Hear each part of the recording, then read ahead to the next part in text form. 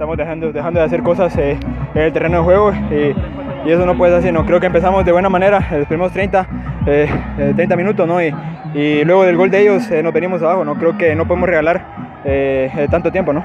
¿Por qué les exigió mucho Sheila? No, creo que fue un equipo que se paró muy bien atrás y, y, y las pocas oportunidades que crearon las, las, completaron. ¿no? Creo que nosotros, como te digo, dejamos de hacer muchas cosas, dejamos de presionar y lo pagamos caro. ¿no?